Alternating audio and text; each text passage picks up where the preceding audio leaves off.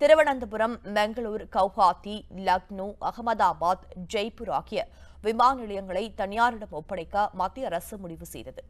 விமான நிலையங்களை பராமரிப்பதற்காக பொதுத்துறை மற்றும் தனியார் நிறுவனங்களிடம் ஒப்பந்த புள்ளி கோரப்பட்டிருந்தது.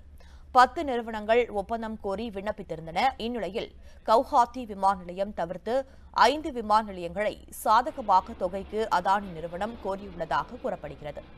இந்நிலையில் ஐந்து விமான நிலையங்களை அதானி நிறுவனத்திடம் மத்திய அரசு ஒப்படைக்கலாம் என்று முடிவெடுத்துள்ளதாக தகவல் வெளியாகியுள்ளது. உண்மை செய்திகளை உங்கள் கண்முன் கொண்டு வரும் காவிரி நியூஸின் யூடியூப் சேனலை சப்ஸ்கிரைப் செய்யுங்கள்.